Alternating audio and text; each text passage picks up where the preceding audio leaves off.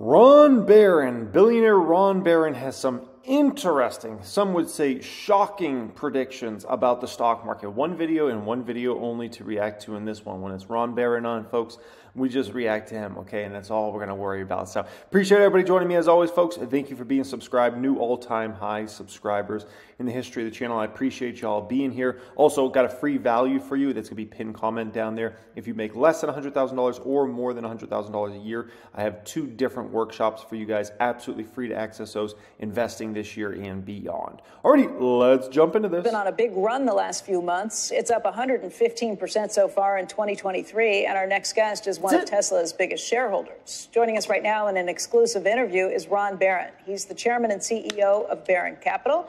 And Ron, it's good to see you. It's good to have you here in the studio. It's great to see you too. Uh, so I just want to say, before I left home, uh, my wife says to me this morning, I don't want you telling any more of your weird stories. that, that, was going out the door. Don't tell any of your weird stories. And so just one little story. Uh, I'm not going to tell you this. The other one I'm going to tell you later. Uh, I thought we were going to end the interview right now. If you if you can't do any of your uh, what are we going to talk about? So, so, the first thing is I want to thank you. So congratulations, Joe, on your bitcoins. Uh, amazing. Yeah. yeah. Uh, number one. Number two. Uh, I've been in this program for 17 years. Lori Ann just told me 17 years. So because of you, people recognize me everywhere. It's just amazing. You know, say thank you, walk, walk over to me all the time. I'm walking to work the other day down Park Avenue, and a woman comes running at me. I'm going north, south, and she's going north. She comes at me and she grabs my horns and she says, Thank you, thank you. I love my smile. I said, Well, I'm not your doctor. And she says, Well, who are you? And I said, Well, I'm, I'm Ron Baron. And she says, Baron, you're that really cool guy on CNBC all the time. yeah? Well, you must get that a lot. Pretty amazing. Right. That, that's. Uh, That's the weirdest story. It's all relative, too. yeah, right. right. right. Yeah. All right. So, what do you want to talk first? You want to talk the broad? I hope someday I'm cool because I've never had somebody come up to me in real life and say, "Oh, you're that cool guy from YouTube." Markets picture. Do you want to talk Tesla and the run up of that it's see. Well, so, so I just want to mention for a second about. I'll, I'll talk about that in just a minute. I know that's where you want to get to. But uh, yesterday or the day before, I was watching your show, and you talked about ESG and how uh, a lot of states are passing legislation or trying to pass legislation to say you shouldn't consider those factors. I should only consider how you can make the most money. And I would point out that we do consider those factors. We do consider good governance, how you treat employees. If you're not treating your employees well, uh, how are you going to retain them? Uh, how are you going to hire the best? And how are you going to uh, keep them? How are you going to train them? So basically, uh, we're interested in these things, and also we're interested in making sure that the companies in which we're investing haven't got these risks that we're not aware of. So we do, we are conscious of that. And to argue against the idea that it's not important about how much money you're able to, uh, only making most money is what's important, uh, that we've been uh, conscious of this. And because of that, we've outperformed. So 98.8% of our stocks have done, of our funds have done better than the market. And 45.5% uh, are in the top 1%. Not only in the top 1%. Uh, Very impressive. That's very, very, very impressive. Wow. Number one in their categories, and Baron Partners Fund happens to be the number one performing mutual fund in the United States since 2003 when it became a mutual fund. So, so we have been able to perform well. Man's got the numbers. Man's got the numbers. You don't become a billionaire by accident. Into account these. Uh, let me just say though, ESG, I think it depends on who's using it and how they're measuring it. Obviously, you're not going to say you're against the environment, you're not against social or governance issues. Um, but sometimes people get in and measure things in crazy ways. And I, I think oh, a lot of the pushback comes from the bureaucracy. Hey, what's Mr. Chief fan doing back here? You, you watching from out there, dude? It's kind of creepy. I don't know about that, man. See that comes from this and the greenwashing that this is used to dress up or dress down other places. And I think part of the problem comes from, you know, big institutional shareholders who have said you're going to do things this way. And it's not their money that they're even talking about. I agree. Well, cases. we're not like that. Yeah, I, I think it's. It, I think this argument gets so convoluted because it really depends on what what you're talking about when you say ESG. That's got to be me when I go to New York City someday. I'm gonna be in the background, like waving, like, "Hey guys, look at me," and then I'm gonna react to it. I'm gonna do a reaction on the reaction channel about me in the background. I agree. I agree. Anyway, so we are conscious of how companies act and how they treat people and how they treat shareholders, and so uh, so we're aware of all these things. Um, our business, uh, we keep expanding.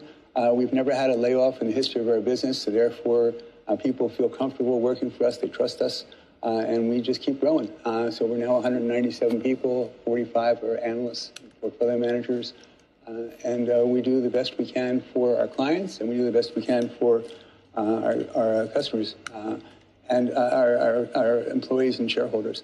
And so one of the things I think is really important is that uh, we don't worry about the stock market. We don't worry about interest rates, economy, what the government's going to do, wars.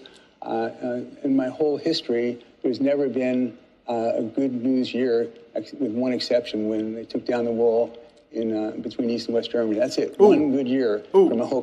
Great point you just made there. Don't let the point Ron Baron just made there go over your head. Okay, that was extremely important. What he's basically pointing out and I point this out, you know, many, many times over time, is you are always going to have so many freaking problems. Either worries about the economy, worries about company earnings, worries about geopolitical problems, and this and that. There's going to be a million problems, and it's never going to go away. And so, understanding that you are going to have to deal with a million worries all the time, you have to move forward and just say, the worries are going to be what the worries going to be. Let it be what it's going to be. I've got to focus on finding great companies to invest in at attractive valuations, and I'm going to do that, regardless of all the million fears out there, because there's going to be a million fears and anxieties and things to worry about. It is what it is. We've got to move forward here on this, folks, okay?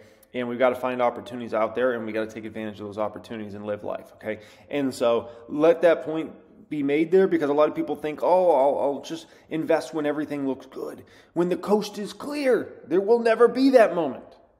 There will never be that moment. There's always going to be things to worry about, okay? So if you can't deal with that, then you can't be an investor in the market. And uh, yet, uh, the stock market in this whole period of time, uh, with terror attacks and inflation and wars and pandemics, uh, with all of that going on, the stock market is up 34 times since 1970 when I began my career. It was 1,000 then, it's now 34,000. And the economy, by the way, in that whole period of time is also up, uh, it's up 33 times. It's gone from $800 billion of, of GDP uh, to 26 and a quarter billion. So despite all this stuff everyone talks about all day long and trying to figure out what's going to happen, uh, market's up 33 times. And what I think is growth is now beginning to accelerate. And over the next 50 years. Before we get to his prediction here, which is pretty shocking when you hear this, okay? But in where he thinks the actual the stock market's going in terms of the Dow. Like, think about the performance. You know, the Dow's 34 times, what did he say, since 1970 or whatever? Like, think about that for a moment. Think about that and think about all the things we had to worry about. That sky high inflation we had to deal with in the 1970s that was so awful. Then a massive recession. Well, we probably had a couple of recessions uh, during that whole era of high inflation, but specifically, if I recall, we had a really bad one around 80, 81, 1980, 1981, right? We had the stock market crash of 1987, which was absolutely insane. If I recall, the S&P 500 fell, I think it was 22 plus percent in a day. In a day. Um, you had that whole situation. You had to go through the tech bubble and the wind down of that, where the NASDAQ fell like, what was it, 80% plus? Insane. Like, eh, are you flipping my flapjacks? That's, that's crazy. Had to deal with 9 11 had to deal with Afghanistan and Iraq and those conflicts. Plus, I've had a bunch of other conflicts we were in back in the 70s and 80s and in the 90s. And now, a once in a hundred year pandemic. My gosh, man, we could go on all day about everything that's drama that has been bad in the world that has happened in the past 50, 60 years. And what did you get for it? A Dow that went up as he says, 34 times. Let that sink in for a moment. Now, let's get into Ron Baron's absolutely epic prediction for where he thinks the Dow is going. Compared to the last 50 years, I think that you're going to have faster growth uh, than 7%, but uh, assuming that you get the same 7%, that means that you're going to have 35 times your money over the next 50 years, which means that the Dow Jones, which is now 34,000, will be 900,000. Uh, so, so when everyone talks about well, is it going to be 32,000 or 33,000 or 30? I'm thinking about 900,000. Why do you think faster growth? 900,000 on the Dow, folks. 900,000. The Dow is like 33,000 right now. Or is it, or are we at 34? I think we're at 30, 33,000 on the Dow right now. Um, let's check here. Uh, the Dow right now is at 33,600. He says his baby's going to 900,000 over the next 50 years. 900,000. That means we're going to have to be over 100,000 likely on the Dow within the next 10 years and then go from there. over the next 50 years because there's a lot of people who think, let's say over the next 10 years, you could see much slower growth than 7%. I mean, that's been the concern for a long time. Well, uh, inflation is 4 or 5% of that 7% hey, growth. What is flipping Flapjack and Patrick Mahomes doing out here?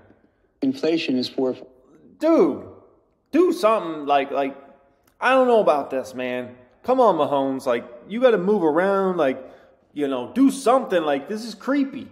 Like, I don't think he can hear the show. Let's be honest. It's probably like five inches of glass right there. I don't think he can even hear the show. The fact that he's just like looking in there, it gets a little creepy at some point in time, man. I feel like if he had like some people with them maybe that might make it a little less intimidating, like a woman or some kids or something. But man's just like, you can't hear what's going on, so you just look. I don't know, man. Of that seven percent growth, and real growth has been two percent. And all the growth that's really happened in the world has taken place in the past uh, 20, 30, 40 years. And, uh, and that's accelerating so because you expect of technology. inflation, but you expect inflation to be higher too? I expect inflation to be, as it always has been, as it has been in every single democracy that's ever existed, 4 or 5% a year. So I think everything is going to uh, you know, be twice as expensive in, uh, in, in, 14 or 15 years as it is today. So it might touch down at 2 or 3%. Uh, but even Volcker, when he left in 1986 or 87. Even then, it was down to 3% from 18 or 19. We've gone from 9 or 9.5 to 4 or 4.5 or something like that. So maybe go a little bit lower, uh, but it's not going to stay lower. And it's, it's part of our, uh, of our economic program. So I'll get to my prediction here in just a moment in terms of if I think that's accurate or not. Okay. Uh, one thing I will say is I wanted to actually watch that whole Ron Baron piece. Um, so I looked on Fubo, and on Fubo they basically have it on demand. But the problem is you have to you can't fast forward it. So unfortunately, uh, we're not going to watch the two-hour entire program here. Um, although you know you never know, maybe someday. Okay, but bottom line is, what do I think about Ron Baron's prediction there? About faster economic growth, about a Dow at, at 900,000. My belief is he's probably right. Uh, things getting much more expensive and doubling in price over the next 13, 14 years, he's probably right. Um, He's probably right, uh, just about all that. Um, obviously, we're not going to know for many, many decades from now, but if I had to guess, he's probably right on every prediction he just made there. And as far as economic growth, when I look at some of these emerging markets and how much they're going to grow in their middle classes um, over obviously the next, next many decades, when I think about how much more connected we are, how much easier it is to do business around the world than it's ever been at any point, and imagine where we're going to be in 10 years from now, 20 years from now, 30 years from now. Um, obviously, with AI and how much that's going to change every sector, everything. Um, yeah, his predictions are probably right on. So, Ron Baron, always smart, always genius, is the reason he's had the level of success he's had in the market and uh, obviously financially. So appreciate you guys as always. Thanks so much for being here, folks. Uh, new all-time high subscribers. Make sure you get your free resource that is pinned comment down there. Free workshop, whether you make less than $100,000 a year or more than $100,000 a year. It's a free workshop for you investing in 2023 and beyond that is pinned comment. Much love and have a great day.